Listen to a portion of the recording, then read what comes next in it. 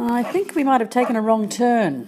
Went left when we should have gone right, back at that fork. Told you. How far off are we? Well, here's the thing Are we a field away? further, A forest?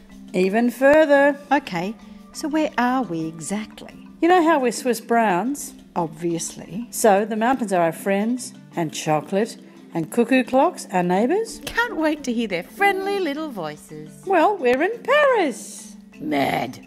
We just went to the markets. How could it have gone so wrong? We met that fun guy. He wanted to show us some magic. One thing led to another. He wasn't a fun guy, he was a real stalker. Guys, come on, we're in Paris.